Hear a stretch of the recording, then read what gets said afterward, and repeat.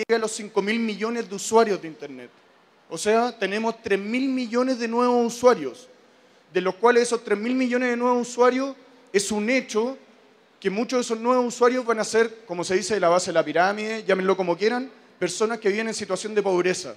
Por eso es un momento histórico. O sea, por primera vez una tecnología de punta, como podría ser la, la conectividad, digamos, va a llegar a personas que realmente lo necesitan. Normalmente la tecnología llegan a las personas más pobres cuando están obsoletas.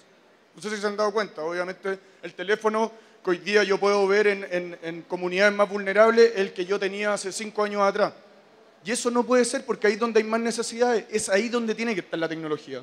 Entonces hoy día vamos a poder llegar con, esta nueva, con estos 5.000 nuevos usuarios probablemente personas como Carelli, por ejemplo, una niñita que vive en el sur de Bogotá, en Mochuelo, se llama el sector donde vive, por fin va a poder tener acceso a tecnología de punta y va probablemente, si es que lo hacemos bien, si es que somos responsables, va a poder acceder a educación, va a poder acceder a salud, va a probablemente poder acceder, qué sé yo, a alimentación, o sea, ustedes más que nadie saben el poder que puede tener Internet.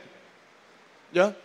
Pero esto no es tan simple. O sea, por un lado está la tecnología que tenemos, pero por otro lado también necesitamos a los mejores profesionales del mundo.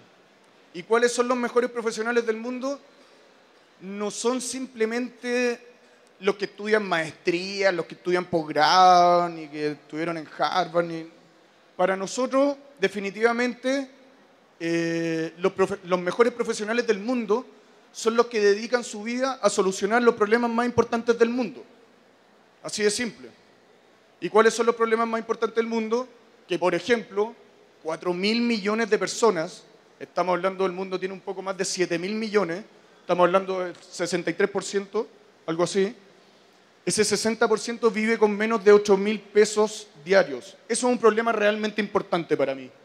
También que un tercio del mundo no puede tirar la cadena.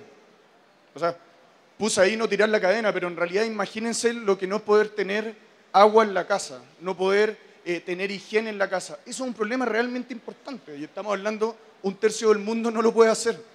Un tercio del mundo vive sin energía. Imagínense sus vidas sin energía en la casa. Eso es importante, que gente que no la tiene. Y dos tercios del mundo no tiene acceso a Internet. Eso también es un problema tremendo. Entonces, básicamente necesitamos profesionales que se la jueguen, que quieran subir vivir su vida para el mundo, no solamente en el mundo. Aquí ninguno de ustedes está de paso, ni, ni tiene por qué solamente estar pensando en uno mismo, en cuál es el negocio que voy a hacer, cómo me hago rico. O sea, ¿qué mejor que solucionar los problemas más importantes del mundo? Esto obviamente es complejo. De hecho, estos dibujos animados, no sé si conocen obviamente a, ¿cómo se llama, perdón? El, el tío rico. Así le decimos en Chile, tío rico. Y estas son cosas que yo veía cuando tenía, no sé, cinco años, seis años entonces, siempre te están metiendo que lo más importante aquí es la plata. Como que el problema más importante del mundo es cómo genero plata. Entonces, es complicado cambiarlo.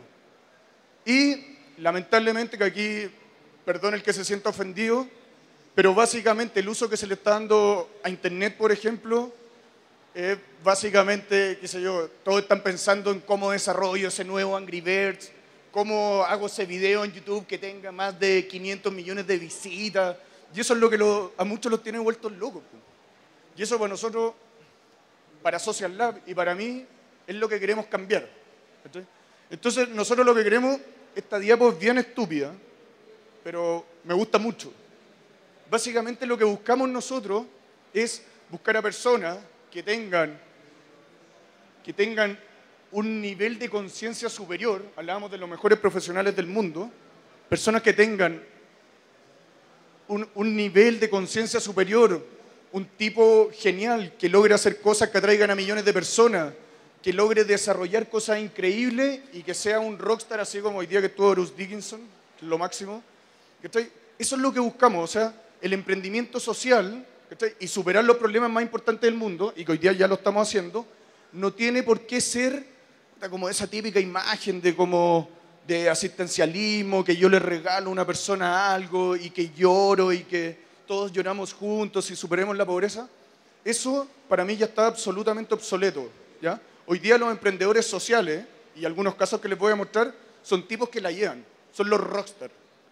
O sea, qué mejor que poder generar lucas, generar plata y a la vez estar mejorando la calidad de vida de millones de personas. Ese es el compadre, es el que la lleva en el mundo. Ya no, porque además Sol Teresa Calcuta, por muy buena que sea, a mí no me identifica en lo personal. O sea, por un tema de sexo, que no podría ser ella, obviamente, pero también hay un tema de que, de que es demasiado buena. Yo no soy tan bueno.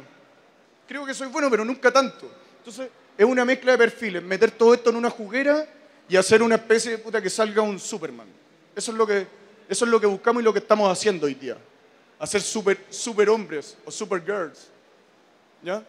Y esto, soñarlo en el fondo no es tan estúpido, porque si se van a la lista de las 500 empresas, el listado de Fortune 500, las empresas más ricas del mundo, de aquí a unos años más, el 75% de ese listado van a desaparecer esas empresas. Y las nuevas empresas que van a reemplazar el 75% de ese listado aún no están creadas. O sea, hay una tremenda... Ojalá que de aquí salga la próxima empresa que ocupe el listado de las 500 empresas más ricas del mundo. Y además, seguro que esas empresas van a tener un foco absolutamente social, porque es lo que hoy día ya está siendo más de moda, ya está siendo más bacán. Eh, la gente se está empezando a dar cuenta que hay que solucionar problemas de verdad importantes y las empresas antiguas, esas empresas como con el caballero así sentado en su escritorio gigante con sombrero de copa, así que el tirano, o sea, ya eso quedó obsoleto hace mucho rato. Y hay muchas empresas que hoy día están dentro de este listado de las 500 empresas que son de ese tipo y que van a desaparecer. Y las empresas que se vienen ahora son las del valor compartido, las de la buena onda, las de mejoremos el mundo, etc. Y como lo, que dije, que esas nuevas empresas eh, van a buscar nuevos desafíos. ¿ya? Y esos nuevos desafíos obviamente van a ser desafíos sociales. Ahora, resumiendo un poco, si tenemos conocimiento de cuáles son los problemas más importantes del mundo, ¿cierto? Tenemos la tecnología, tenemos la información para hacerlo, ¿por qué hoy día el mundo está como está? ¿Por qué yo estoy exponiendo de que el 60% del mundo es pobre, que un tercio del mundo no tiene acceso a higiene, que etcétera, etcétera, etcétera? Es básicamente porque nos estamos dirigiendo, las empresas, los centros de innovación, las universidades, están todos dirigidos a crear nuevas necesidades en un nicho, en un segmento que ya las tiene prácticamente resueltas. Estamos creando nuevas necesidades cuando el 60% del mundo tiene millones de necesidades básicas. Entonces estamos pensando en el iPhone 7, en el iPhone 8, todo se vuelve loco cuando en realidad, eh, cuando en realidad un tercio del mundo no tiene dónde enchufar un iPhone, no tiene energía. Entonces preocupémonos de eso, después nos preocupamos. Eh, yo siempre he soñado y que antes de morir lo voy a hacer, es agarrar a todos los genios que están en Apple y decirles como, flaco, por favor, a ver, desarrolla algo para que ese tercio del mundo tenga energía. Y te aseguro que van a hacer algo genial y lo van a solucionar. Pero el problema es que hoy día estamos todos metidos en el iPhone, pues, y es lo que, lo que más le interesa al segmento que hoy día tiene plata de la gente, a ese 27%. Entonces nosotros dijimos, ¿cómo, cómo logramos hacer visibles estos problemas? O sea, lo que yo les estoy diciendo hoy día de, todos los problemas que les mostré, los Superman que necesitábamos, los mejores profesionales del mundo, ¿cómo hacemos algo para mostrar los problemas y encontrar esos Superman? Y ahí es donde aparece lo que, lo que nosotros creamos, que es básicamente una plataforma que se llama Social Lab, que es una plataforma que hoy día tiene más de 250.000 usuarios. ¿ya? Lo que hacemos en Social Lab básicamente es subir un problema un problema que investigamos, nos vamos una semana junto a las comunidades a trabajar, a investigar, a entender. Subimos un desafío, tenemos toda esa comunidad, tenemos, hoy día tenemos 260, creo, 264 mil creativos. Eso significa tener en un lugar, en un lugar, 264 mil cerebros que pueden solucionar un solo desafío. Entonces, es muy probable que las soluciones sean increíbles. Entonces, subimos un desafío, la comunidad publica soluciones, después la comunidad opina y vota. Esto tiene como, como tipo Facebook, en el fondo que yo posteo algo, yo subo una foto y me empiezan a, a postear, me empiezan a opinar, me, dicen si les gustó, si mira, sabes que yo en China vi algo muy similar a lo, a lo que tú propones, o tal vez podrían mejorarlo, con etc. esto es full eh, inteligencia colectiva, que de hecho la inteligencia colectiva en el colegio nos dicen que es copiar, básicamente. Para nosotros la inteligencia colectiva, o sea, qué mejor que otra persona te pueda decir lo que tú estás haciendo mal, que lamentablemente desde chicos nos enseñan a que copiar es malo, pero aquí copiar es bueno. ¿Ya? Y además tenemos un sistema de mentores, etcétera, que eh, se eligen las mejores soluciones en torno a la misma comunidad y los mentores. Y finalmente identificamos la mejor solución y lo más entretenido es que la financiamos. O sea, si queremos solucionar los problemas más importantes del mundo, no sirve de nada tener una plataforma muy bonita, tener millones de soluciones, si van a quedar ahí. Así no vamos a solucionar nada. Aquí la idea es seleccionar las mejores, a los emprendedores más bacanes, los más motivados, financiarlo y que hagan realidad su, idea. Y hasta el día de hoy tenemos más de 13.500 soluciones en la plataforma, que hoy día el que quiere se puede meter. Tenemos desafíos de todo tipo, de tecnológicos, no tecnológicos. Y cualquiera es innovación abierta además. O sea, cualquiera puede, puede entrar y ver soluciones, etc. Más de 250.000 creativos y hemos entregado más de 1,9 millones de dólares en capital semilla, lo cual es bastante. Y ese número de hecho va creciendo prácticamente cada día. Además, con la plataforma, además hicimos una academia, ¿ya? hoy día estamos ubicados en Bogotá, tenemos oficina en Chile, tenemos oficina en Argentina, tenemos oficina en Uruguay y en Colombia está en Bogotá. Y también la idea, o sea, lo que estamos haciendo es agarrar a los emprendedores que identificamos con sus soluciones increíbles, financiarlos y meterlos a la academia para trabajar con ellos. El único requisito es que el emprendedor de verdad tenga una convicción de que puede cambiar el mundo de que el tipo esté loco, esté loco para bien, pero que esté loco y que de verdad sea un señor. Eso es lo que buscamos, realmente confiar en las personas. Y así, por ejemplo, encontramos a Natalia. Natalia Espinosa tiene un proyecto, o sea, ya no un proyecto en realidad, es una realidad, que se llama Papi Notas, por ejemplo. Y lo que hace ella es conectar a través de una plataforma, el profesor se puede meter a esa plataforma, eh, ella tiene un modelo de negocio detrás, o sea, está creando un equipo, ella vive de esto. Eso es lo más bacán de todo. Ella vive de esto. Eh, tiene una plataforma donde el profesor se mete y inmediatamente puede mandar de forma gratuita, o sea, los usuarios no pagan, no gratuito, alguien lo paga obviamente, puede enviar mensajes de texto a todos los apoderados. ¿ya? ¿Por qué mensajes de texto? Porque hoy día los teléfonos, como le dicen acá, los flechas, los teléfonos flechas son los más comunes. En Chile pasa lo mismo. Entonces, lo que hace es crear un nuevo canal de comunicación entre profesores y apoderados. En Chile esto se está aplicando en varias escuelas muy vulnerables y está teniendo excelentes resultados. O sea, ya no existe la excusa de que, ah, no sabía que mi hija, que no sé qué, o no sabía que había reunión de no sé qué.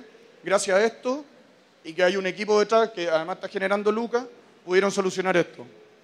Tenemos también, encontramos a Pablo. Pablo tiene una plataforma. Este weón está loco. ¿Cachai? Que Pablo estudió, o no sé si estudió en realidad, no alcanzó a estudiar neurocirugía. Se retiró en séptimo año. Séptimo año, yo creo que la carrera dura. Bueno, eh, dura, qué sé yo, ocho años, nueve años. Se retiró en séptimo año. La mamá lo quería matar. Lo quería matar, imagina retirarse ya terminando la carrera. Y básicamente lo que le pasó a Pablo, que él iba todos los días a la universidad, se iba en bicicleta.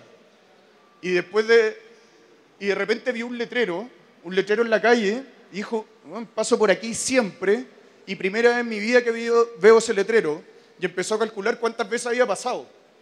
Y eran, no sé, había pasado, que se dio mil veces, y por primera vez veía un letrero que había estado siempre.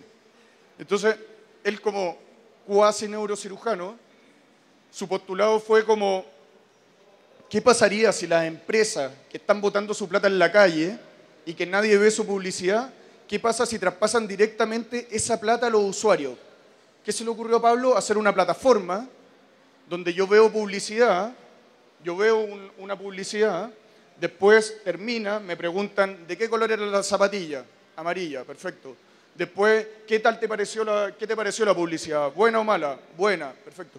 Ahí él logra que hayan recorridos neuronales.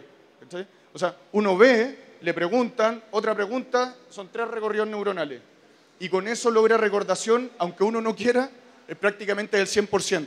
Dijo, se lo voy a vender a las empresas. Bueno, ya a las empresas le encantó. Y hoy día le están financiando esto Y lo más interesante de todo es que yo veo publicidad en su plataforma y cada vez que veo una publicidad, yo, puedo, yo acumulo puntos, dando puntos, no me acuerdo cuál es el nombre del, dinero ficticio en realidad, dando puntos. Y cuando acumulo cierta cantidad, yo puedo recargar, por ejemplo, mi tarjeta, si lo llamamos a Bogotá, sería la tarjeta al Transmilenio, puedo recargar internet de prepago, telefonía de prepago, etc. Entonces, básicamente Pablo está logrando que la inversión publicitaria, que son miles de millones, puedan llegar directamente a los usuarios y los usuarios que no tienen los recursos puedan acceder a nuevos servicios. Entonces, Pablo logró crear un modelo altamente disruptivo, o sea, está cambiando como la historia de la publicidad si es que le sigue resultando como están las cosas. Otro caso es Leo, que Leo tiene una plataforma donde logra conectar a profesores, a profesores, alumnos y a la misma universidad en un solo lugar. Logra meter contenido, logra, básicamente logra que todos avancen como a la misma, al mismo nivel. ¿ya? Tiene mucho contenido, uno puede descargar, qué sé yo. Lo, es una plataforma como una plataforma de tipo universitaria, pero una versión 2.0 y que tiene millones de cosas más. Y Pablo hoy día está metido en Silicon Valley, le han puesto mucha plata a su proyecto, le está yendo increíble y su sueño también es poder entregar una mejor calidad de educación a la gente que hoy día no puede pagar por ella. Otro caso, Alfredo, aquí, aquí nos vamos a una cuestión absolutamente nada, no, este es alta tecnología en realidad, pero ¿qué? Sí, este tipo de extraterrestre. Eso, yo creo que eso es. que Alfredo lo que logró hacer es sanitizar agua.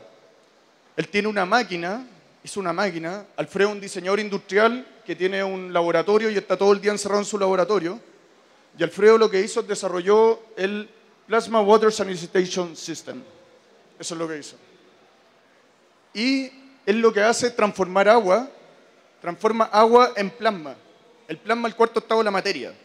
Y él en un flujo continuo tiene una máquina que el agua pasa, se transforma en plasma, el agua sale y sale agua limpia. Yo puedo meter agua con caca y sale inmediatamente limpia. Primero Alfredo quería venderle esto a los cruceros. Tremendo negocio, pues imagínense venderle un crucero que pueda recircular su agua y tener tremendo negocio. Y tuvimos la suerte de lograr encontrarlo y eh, que entendiera que en realidad él tenía en sus manos eh, una herramienta para cambiar el mundo. O sea, ¿cuántos niños mueren por no tener agua limpia? No sé, no, me acuerdo la cifra, pero creo que es un niño cada cuatro segundos, algo así. Es impresionante. Y hubo todo un proceso de, de tratar de instalar esto en un barrio muy pobre, porque además eh, no es fácil tomar agua de algo que se transforma en plasma, porque es fluorescente. Entonces, yo no voy a tomar agua de ahí, probablemente me va a salir un ojo, no sé, es como una espada de Luke Skywalker. Entonces, claro, para uno aquí decir como de agua limpia es fácil, pero en realidad tomar agua que, pasa por ahí, y eso fue un proceso súper complejo de muchos meses de trabajo, hasta que finalmente hoy día 20 familias en Chile ya están tomando agua limpia. Agua limpia. De hecho, eh, llamó el director del, hospital más cercano al líder, como, al líder comunal decía, oye, ¿qué pasa? Se fueron todos, los, mandaron a otro lado porque hace mucho tiempo que no vienen, entonces yo no sé qué está pasando. Y es básicamente la gente dejó de enfermarse porque tomaban agua que estaba en baldes, en el fondo, que el, pasaba el camión aljibe cada, qué sé yo, una semana y dejaba agua acumulada, que le entraba a tierra, que el sol, que caían bichos, insectos, etc. Entonces dejaron de enfermarse. Hoy día se está viendo con Alfredo cómo esto se va a llevar a África, cómo se instala en el Amazonas. Y además esto partió siendo una máquina como el porte del escenario y que era como, chuta, pero ¿cómo escalamos esto? ¿Cómo hacemos que le llegue a todo el mundo? ¿Tengo que tener en mi casa una máquina gigante? Bueno, trabajando, trabajando, Alfredo lo transformó en una cosa de este porte, que de hecho en esta presentación no tengo fotos, lo transformó en una cosa de este porte y que hoy día lo que se está pensando en hacer es cómo meterlo dentro de las llaves de agua. Y que el día de mañana yo puedo ir a comprar una llave de agua y listo ya tengo mi sanitizador de agua. Entonces, este tipo es increíble. Benjamin Cohen, este flaco, lo que hizo es súper estúpido en realidad. Yo, yo, al principio no le creía mucho a, Ben. Y básicamente lo que hace él es llevar agua de un punto A a un punto B en tiempo récord. ¿Y qué hizo? Algo tan simple como probablemente sería una solución que haría un niño de 5 años, agarrar un helicóptero, agarrar un carrete con una manguera especial que es de alta tecnología y llevar agua, desenrollar por arriba de montañas de lo que sea, llevar agua a un punto B. Uno dice, ah, es fácil. No, pero en realidad no es tan fácil. En realidad no es tan simple. Hay un tema de presiones de agua, no, no es tan fácil. ¿ya? Y él, obviamente, desarrolló esta manguera que tiene una tecnología especial, que además es degradable después de cierto tiempo. Hoy día, por ejemplo, lo están llamando desde Haití, ¿ya? a ver cómo, cómo lleva TOL, que así se llama su proyecto, cómo lleva TOL a Haití. Se está viendo en La Guajira también cómo esto podría eh, terminar con el tema de los camiones aljibe, ¿cachai? Como llevar un flujo continuo de agua de un punto A a un punto B, a muy bajo costo, porque uno dice un helicóptero es caro, pero mucho más caro estar llevando constantemente camiones, estar llevando agua, mucho más caro. Después este, Paisa, un Paisa, en fin, Alejandro Vargas. Alejandro tiene una toallita higiénica, unas toallitas higiénicas que a través del flujo vaginal, ¿ya? y a través de un tema de colores, ¿ya? tiene unos puntos especiales que según el color se puede saber inmediatamente si la mujer, por ejemplo, está embarazada, si tiene diabetes. Hoy día están esas dos enfermedades. Tiene un potencial de llegar a 14 enfermedades, entre ellas malaria. Y este tipo es de acá de Medellín. Y un tipo también, un, un médico que se dio cuenta de la tremenda oportunidad y el tremendo negocio que podía haber en meterse en temáticas sociales. O sea, imagínense esto, hay que ver el modelo de negocio, hay que ver millones de cosas porque si esto lo terminamos vendiendo en una farmacia cualquiera, en, un, sector más, con más lucas, no sirve de nada. Pues, si esto tiene que llegar a la gente que realmente lo necesita. O sea, ¿cuántas mujeres probablemente que, no van a controles, no tienen ni, qué sé yo, se dan cuenta que están embarazadas así como al quinto, sexto mes? Y que probablemente ya estuvo haciendo trabajo físico y no sé qué, y eso significa probablemente que, el, que el bebé pueda salir con algún tipo de trastorno, etc. Entonces, o sea, si logramos llevar lo que está haciendo Alejandro a las personas, Alejandro se va a hacer multimega, super, hiper millonario y va a salvar muchas vidas. Eso es lo que estamos haciendo. Después, otro caso, que aquí también, este de acá debería salir alguno así. Yo me imagino que en Colombia existen, que es el crédito no bancario. ¿ya? Hay un tema que tenemos todos que no nos atrevemos a desafiar el status quo, no nos atrevemos a hacer cosas, y eso es la innovación social, el ver oportunidades, eh, el, ver problemas y transformarlo en oportunidades, y es básicamente que uno está acostumbrado a que todo tiene que ser de una forma. Un crédito yo lo tengo que pedir en un banco, o se lo tengo que pedir a una entidad financiera, cuando en realidad no tiene nada de malo pedirle plata a otra persona. Uno normalmente le pide al, papá, a la mamá, al hermano, qué sé yo, pero lo que hizo Nicolás tiene un proyecto que se llama Cumplo y básicamente lo que hizo en Cumplo es una plataforma, no una plataforma bancaria, porque en Chile los bancos lo quieren matar. De hecho, tiene muchas demandas, pero él se le está sacando con que en realidad mi plataforma es social. Y lo que hace es juntar mucha gente que quiere prestar o que necesita plata, juntarlos y que se presten plata, básicamente. Esto, y, uno además, eh, como usuario, uno tiene tiene que presentar ciertos documentos, obviamente en las redes sociales que te avalen, no sé, porque algunos amigos de Facebook hablen bien de ti, etcétera, como, presentarse ante la comunidad. Y cuando se genera confianza, yo puedo, me pueden prestar plata y yo la pago. Lo interesante que Nicolás ha logrado bajar en Chile la tasa de interés de un 50%. O sea, los bancos te prestan plata un 50%. En Cumplo ya están logrando, ya le han bajado un 21%. Y de hecho hace poco lograron negociar un crédito a un 11% de interés.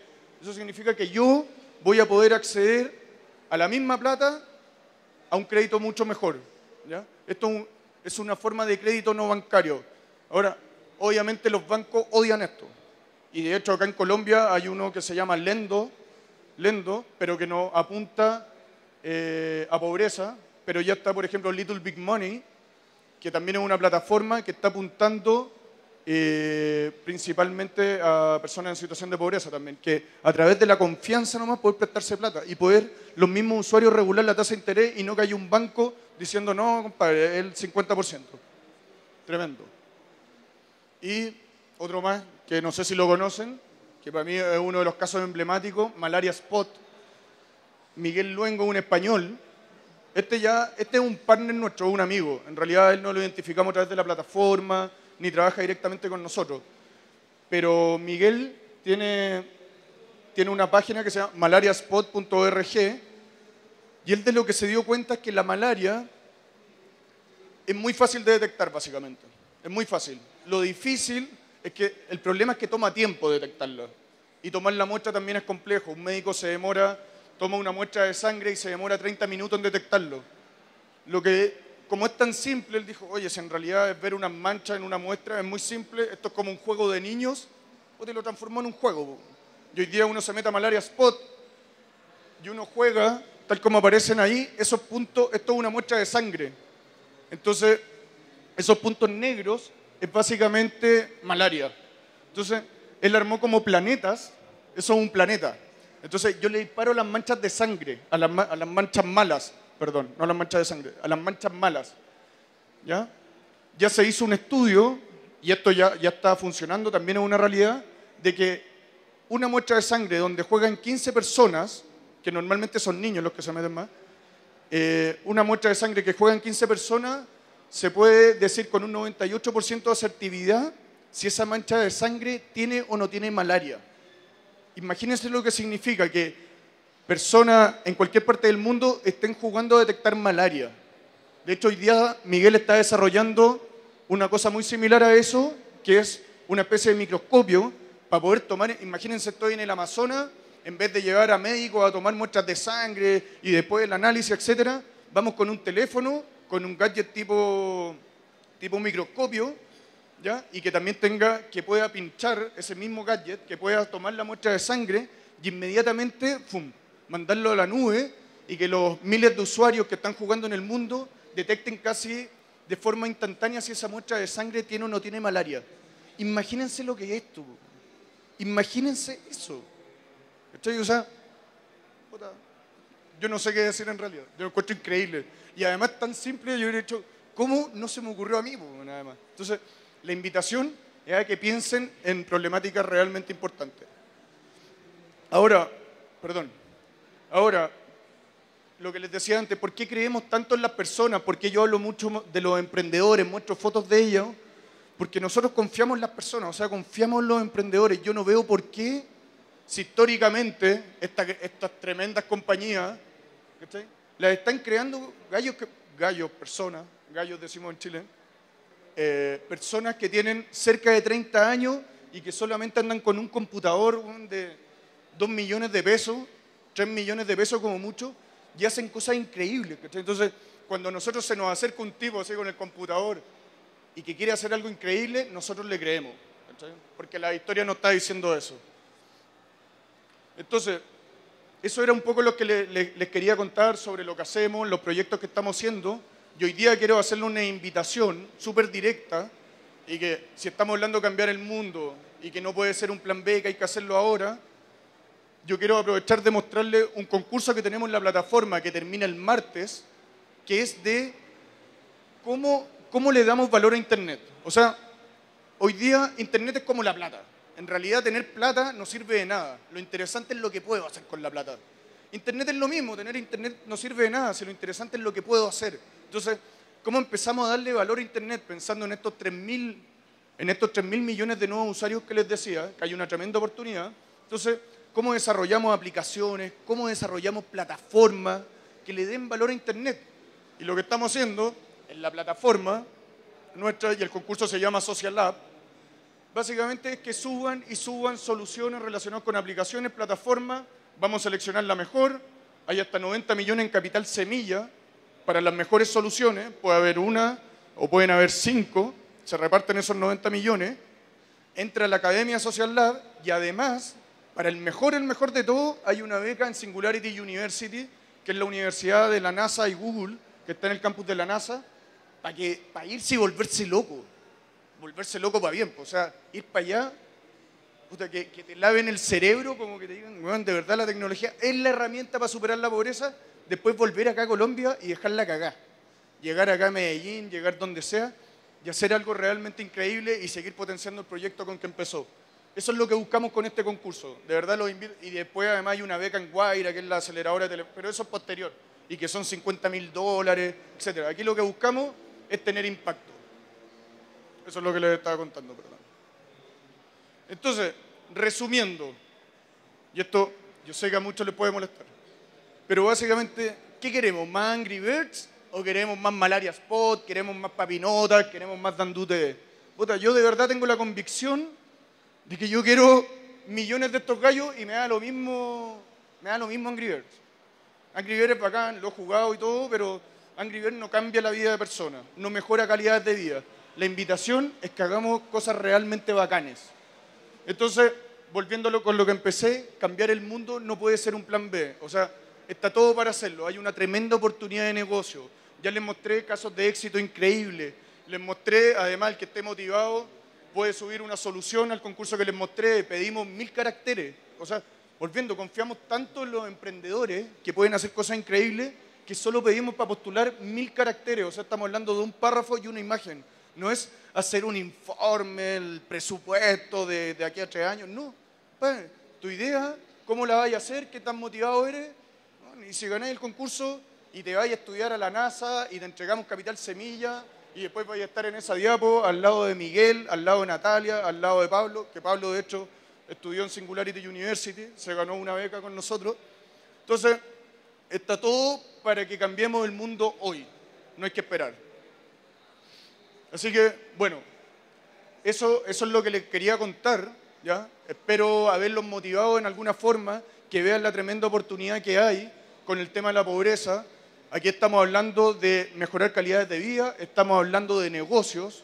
O sea, yo trabajé cuatro o cinco años en la Fundación Un Techo para mi País, a la cual amo mucho, pero cuando uno vive de donaciones es súper complejo hacer cosas realmente grandes. En cambio, cuando uno puede lograr armar algo que te empieza a generar lucas, de lo cual tú puedes vivir, empieza a armar un equipo, ¿ya? ahí cambia la cosa. Y ojalá tener 50, 60 años y poder seguir metido en esto de mejorar calidades de vida. ¿ya? La invitación es esa, así que muchas gracias. Espero que les haya gustado. Y no sé si ahora habrá ronda de preguntas o algo.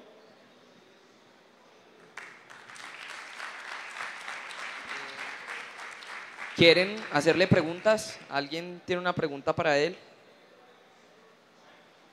¿Sí? Ignacio, contestas por eso. Y yo voy repartiéndole a la. Aló, aló, aló, aló. Hay muchas ideas geniales. Espérame, espérame un- espérame un segundo. Dale. Que esto se va a poner. Espérame. No para poner un. Ahí. Dale. ¿Listo?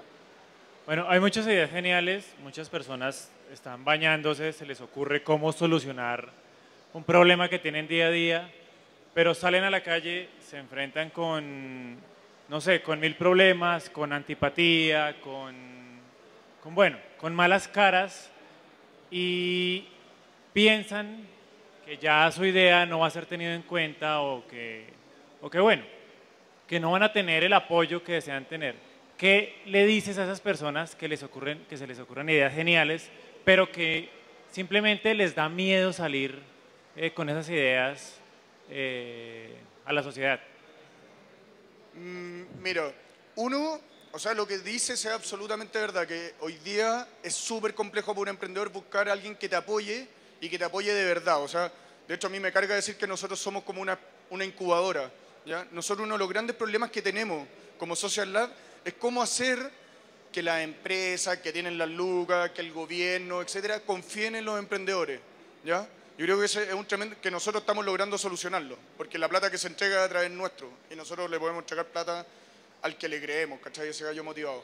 Yo creo que para superar el miedo, yo de verdad todo, todo lo que hicimos nosotros en la plataforma está, pens- o sea, como dije, Social Lab es un emprendimiento y lo que busca justamente como que fue co-creado con muchos emprendedores. Y lo que hemos logrado es que, que los emprendedores cuando postulan, o sea, imagínate, subimos un desafío y se suben, qué sé yo, 500 soluciones. De esas 500 soluciones hay un primer filtro que seleccionamos 50, las 50 mejores. Después de eso hay una entrevista personal. Después de eso eh, seleccionamos los 30 mejores. Esos tipos tienen que ir a hacer co-creación. Ir donde los usuarios, ¿ya? Y presentar su proyecto. No, no es validarlo, sino que empezar a desarrollar junto a las comunidades su propio proyecto. Y a través de esa etapa, el emprendedor va perdiendo el miedo. ¿cachai? De hecho, hemos tenido emprendedores que se nos han desmayado cuando hacemos como los pitch, dependiendo de la etapa. Por ejemplo, la final, normalmente son 10 emprendedores los que llegan y hay un jurado y en un lugar así lleno de gente, se nos han desmayado. Obviamente ahora lo estamos solucionando haciendo como finales falsas, pero yo creo que la única manera de vencer el miedo obviamente es atreviéndose y al final cuando uno se mete en algo, lo bueno de esto es lo que nos ha pasado, que muchos emprendedores que han llegado a etapas finales nos dicen como, chuta, yo en realidad subí mi solución y nunca pensé que iba a avanzar. Entonces como que ya, ya partió mal, pero por suerte logró ir avanzando y llegó a una, a lo mejor no ganó, pero llegó a una segunda, una tercera etapa y ya se fue metiendo en temas, se, empezó a poner nervioso, porque ya uno se pone nervioso, es como todo, por la primera vez es un poco más difícil, como todas las cosas.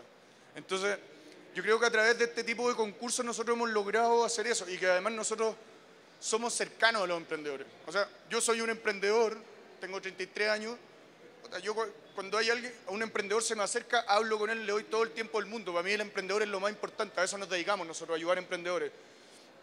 Pero ¿cómo solucionar eso frente cuando uno llega a una gran máquina, a un concurso, a una convocatoria del gobierno, donde uno solamente le habla a una plataforma o, descarga un formulario y postula?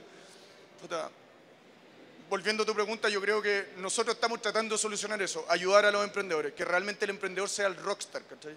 el, emprendedor muchas veces tiene miedo porque se siente que, que no tiene apoyo, como que él es solo contra el sistema. Nosotros lo que hacemos, no estáis solo, no estáis solo contra el sistema, compadre. Nosotros estamos contigo. Si creemos en ti, vamos a dar la vida por ti. Pero, pero en realidad, no, no sé si te habré contestado la pregunta en algunas cosas, es complejo en realidad. Hay que atreverse nomás. Por aquí tenemos otra pregunta. Buenas. Hola. Bueno, que quería comentarle una experiencia eh, personal eh, tengo una plataforma web desarrollada, se llama Ecogranja, que la idea es ayudarle a, los agricultores a tomar decisiones. Tiene finalidad social. Eh, la presenté a la convocatoria de apps y en las condiciones que me dijeron que para poderla aplicar, que me dijeron que tenía que cumplir, eh, tenía que ser que monetizara, demostrarle monetización. Yo les dije que la, la aplicación tenía una finalidad social y que, en una, que no le veía la manera por ejemplo, de cobrarle a, campesinos por el uso de ella. Eh, digamos, ¿cuál es como la estrategia que usted les presenta a los emprendedores para darles como ese soporte financiero, pero tampoco que, lo esté presionando solamente con esa finalidad? No, mira, ¿tú postulaste a cuál? ¿A la convocatoria de ahora? ¿O a otra? No, al final no postulé a apps porque no porque esto todavía está vigente, todavía no termina. ¿Ah, cuál? ¿La Social App? O no, hasta ahorita conozco Social Lab y me encantó, pero apps, eh, no postulé a apps. Ah, del Mintic. Del Mintic, no. Ah, perfecto.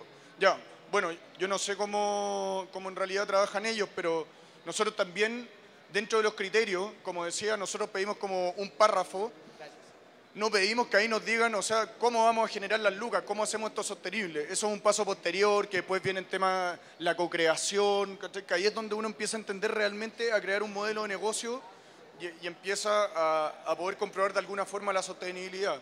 Sí creo que es fundamental y cómo se logra eso no te lo puedo decir, porque aquí estamos hablando de emprendimiento social y innovación social. O sea, si esto fuera tan fácil como hacer una plataforma donde yo entrego un servicio y los usuarios me pagan, obvio que es simple, pero los usuarios no tienen plata, es el primer desafío. Entonces, de eso se trata justamente la innovación social. Como el ejemplo que te mostré, Pablo, o sea, eso es innovación pura, o sea, logró una forma de, poder hacer que los usuarios de hecho hasta reciban plata. ¿Cómo se logra eso? Con mucho trabajo en terreno, o sea, la innovación social y el emprendimiento social no se da en un tubo de ensayo, no se da solamente en la plataforma nuestra, ese es el principio. Donde sí se da es cuando ya, por ejemplo, los invitamos a entrar a la academia, y estar en la academia significa prácticamente estar la mitad de tu tiempo metido en una comunidad, hablando con tus futuros usuarios, ¿Y quién es más creativo que una persona que vive con 8 mil pesos diarios?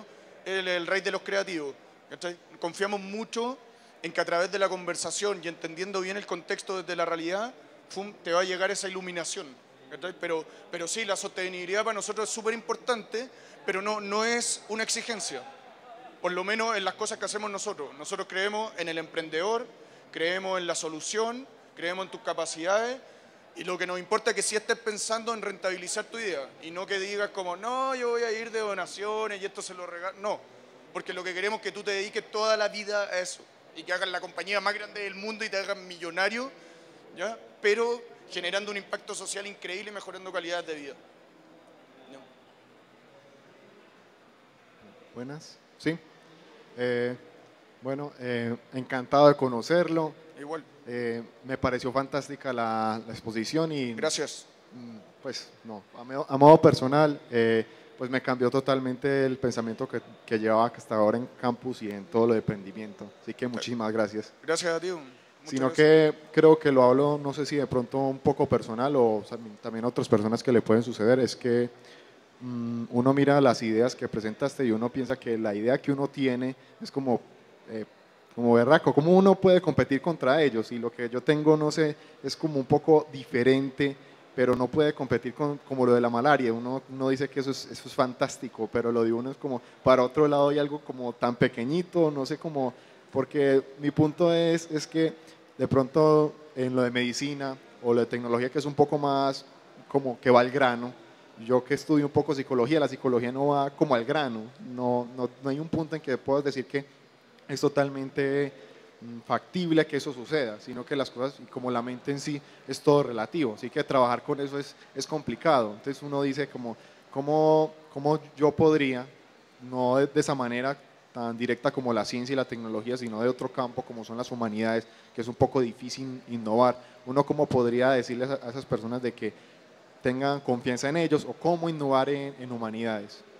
Sí. Y no, no te comprendí bien la pregunta, o sea, te, te escuché todo lo que dijiste, pero... Ah, disculpa. o, o es Eh, un comentario y te comento. No, eh, más que todo es como, la pregunta es, no, cómo, mm, cómo decirle a las personas que crean en sus ideas a pesar de que no, no sea, pues se vean un poco menores a las, a las, a las, a las es que todos los casos que presenté, bueno, hay un par de excepciones, pero Pablo, Natalia, eh, son tipos relativamente normales. ¿cachai? Si el tema es que lograron, que, que eso es lo que hacemos a través de la plataforma que es sociallab.com, que es como que se dieron cuenta de la tremenda oportunidad que había de lo- entre lo que ellos estaban haciendo y que nunca habían pensado en enfocarlo en un tema de pobreza. Si es solamente eso, lo que nosotros buscamos es que todos los que están acá, o sea, todos los desa- aquí hay mucha gente pensando en tecnología. ¿cachai? O sea, hacerlos ver la tremenda oportunidad, por eso la charla se llama como el negocio del futuro, es como, oye, ¿sabes que a mí nunca se me había ocurrido que, no sé, estoy desarrollando un juego, qué sé yo, veo Malaria Spot y digo, oye, de repente, mira, yo me... Y se empieza a meter, o sea, la creatividad, esas ideas geniales no vienen de la nada. ¿cachai? Uno normalmente está en un contexto y gracias a eso vienen esos, ¡pum!, esos flachazos. Entonces, entonces, básicamente, es, o sea, si a ti te interesa esto, yo te recomiendo, empieza a meterte, o sea, empieza a buscar información, qué sé yo, ándate un día a conocer a, a- un barrio, habla con una familia, puta, y obvio que tus conocimientos te vayas a dar cuenta de que, oye, en realidad yo puedo hacer algo increíble, y que a lo mejor yo puedo vivir de esto. ¿cachai? Inicialmente a lo mejor no te dar lucas, pero como todos los emprendimientos nomás. Pero yo creo que estar en el lugar adecuado. Y, esa, y a eso es lo que vengo justamente, a hablar de pobreza y tecnología, que para muchos es, son cosas absolutamente separadas. Ignacio, tenemos una pregunta por acá. Hola, Hola, ¿qué soy tal? diseñadora industrial. Desde que estoy en la tesis, o sea, más o menos hace tres años, siempre he venido trabajando en proyectos sociales en torno a la sostenibilidad tanto ambiental como social. Y siempre el problema que hemos encontrado pues haciendo proyectos y ahorita en especialización que queremos llevarlo más allá, ya como modelo de negocio, es lo mismo que tú decías, el cómo llegarle a las empresas y cómo hacer que la comunidad crea todo el cuento. Que la misma comunidad sabiendo que uno les está apoyando y les está haciendo como muchas cosas, productos, sistemas completos, ellos no lo creen tampoco porque ellos no ven los resultados ya. Si tú les estás haciendo todo un sistema de negocio para ellos, un sistema productivo, ellos quieren ver ya pues, los resultados. Y obviamente así como si es un negocio para ti, si es para ellos, eso lleva tiempo. Y pues las mejores cosas también requieren esfuerzo. Pero cómo estimular a la comunidad y cómo hacer que pues como que el proceso se vea con frutos y se, pueda llegar no solo con Social Lab como tu emprendimiento, sino aparte de eso, como que otras convocatorias tú tienes y que conozcas que funcionen de verdad, acercándose a los ministerios, por ejemplo. La verdad, la verdad de la verdad de la verdad. Hasta ahora yo no he encontrado, o sea, este tema de innovación social, lo que decía antes, aquí de, verdad es buscar cosas, modelos de negocio eh, disruptivos, hacer cosas que desafían el status quo, o sea, no irse por la lógica del mercado de partida. Eh, uno, entender bien, eh, entender bien las comunidades, eso es súper importante porque uno muchas veces cree saber cuáles son los problemas y en realidad los problemas son otros, o es como una cebolla, la primera capa era el problema, pero en realidad el problema estaba mucho más abajo. Eso, punto uno. Segundo, apoyos, encuentro que es súper difícil cuando estamos hablando de estos temas. De hecho, por ejemplo, Miguel, hoy día por aquí anda uno, el Miguel es médico, y por acá anda el desarrollador del otro español que anda por acá.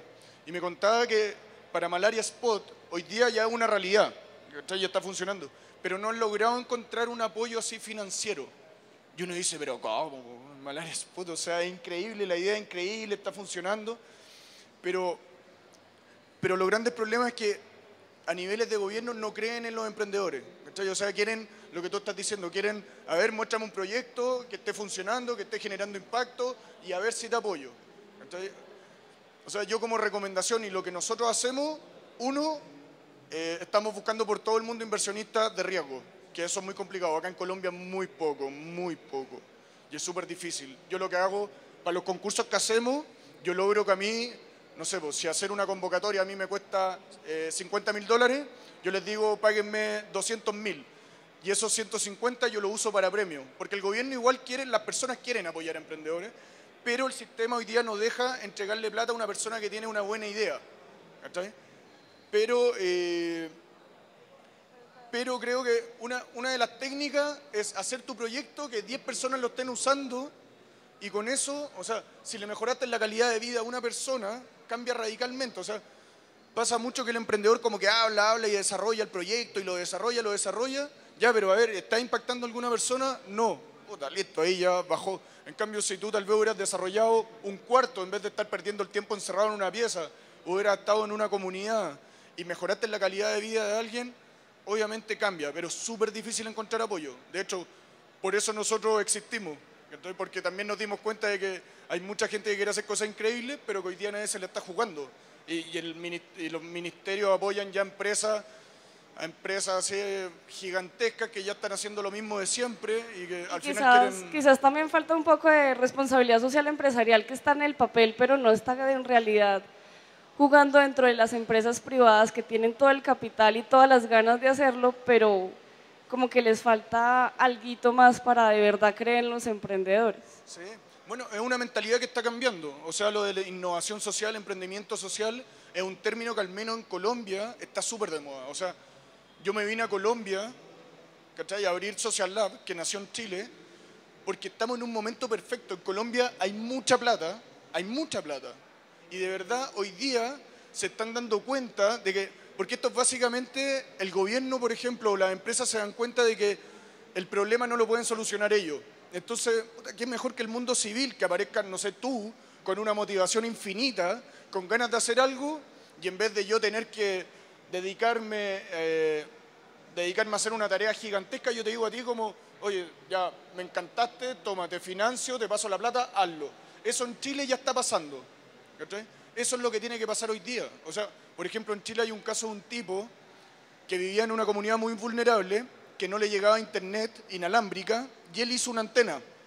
Él hizo una antena y tenía como a dos cuadras un cibercafé, café internet, y logró traer internet a su casa, lo cual es ilegal. Es ilegal, obvio. Pero hoy día Movistar en Chile lo está financiando, lo está financiando él. Se llama Francisco Bailamilla. Lo está financiando para que Francisco haga miles de antenas más, porque gracias a él Movistar va a poder llevar conectividad a muchas más personas. Hoy día Francisco ya su antena logra conectar a 500 familias alrededor.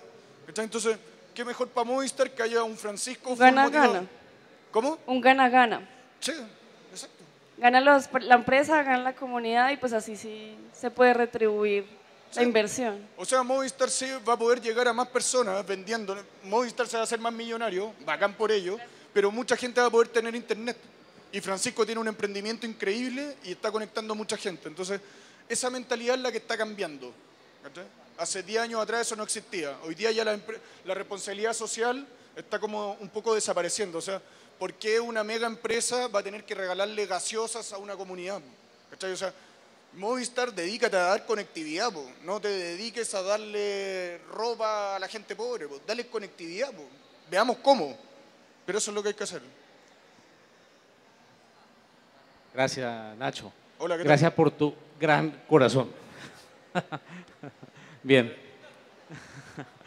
Oye, eh, ¿cómo funciona eh, el modelo financiero cuando la startup eh, llega un inversionista y digamos este escenario hace un desembolso fuerte para esa startup y, y bueno, llegará el caso en el que el inversionista llegará a decir me quedo con el 90% o en algún caso podrá sacar incluso al mismo fundador. ¿Cómo es ese modelo en esos escenarios relativamente complejos eh, financieramente? Compleja, compleja la pregunta. A ver, hasta ahora, hasta ahora en Chile lo que no ha funcionado, bueno, uno, hemos logrado traer inversionistas, Hemos logrado traer inversionistas, porque lo que hacemos es como transformar el capital de riesgo que no sea de riesgo. Entonces, como tenemos proyectos bacanes, ya tenemos casos de éxito. En Chile, porque también somos relativamente nuevos. Hasta ahora los inversionistas no están pidiendo nada a cambio. ¿ya? Tenemos inversionistas que están poniendo lucas, que tienen mucha plata y que tienen... Porque aquí estamos hablando, igual somos todos, o sea, estamos hablando de negocio, pero todos somos buenos. Entonces, todos los inversionistas que les interesa meterse en este, en este tipo de cosas son buenos también, hasta ahora. Hasta ahora. Yo creo lo que va a tender a pasar que obviamente eh, si empieza a haber muchas lucas de por medio, se va a meter cualquier tipo. Pero hasta hoy día, yo solamente te puedo decir lo que nos ha pasado hasta hoy día, que es inversión y el inversionista después pide una devolución, obviamente, pero hoy día no hay, no hay ningún tipo de equity, nada parecido, por ahora. A mí me encantaría que sí hubiera, o sea, creo que no por ser social no va a tener que, no va a tener que ser un, startup como cualquiera que llegue un tipo, le meta muchas lucas, pero siempre, es que este tipo de cosas no funcionan si hay un emprendedor bacán detrás, ¿cachai? Porque al ser, es muy probable que tu, que tu proyecto eh, va a ir cambiando radicalmente, o sea, te va a ir dando cuenta de que la realidad es otra, ¿ya? La realidad, y que probablemente hoy día tú estás haciendo esto, la próxima semana te diste cuenta, oye, esto no está funcionando porque nuestros usuarios no tienen plata, porque, ¿cachai? Entonces, volvemos a lo mismo, que el emprendedor es tan importante que si llegara como a hacerse un lado del emprendimiento, el emprendimiento muere, muere. Pero hasta ahora no es mucho lo que de inversionistas hemos tenido tipos que meten muchas lucas, pero que en realidad también quieren cambiar el mundo. Estoy por ahora.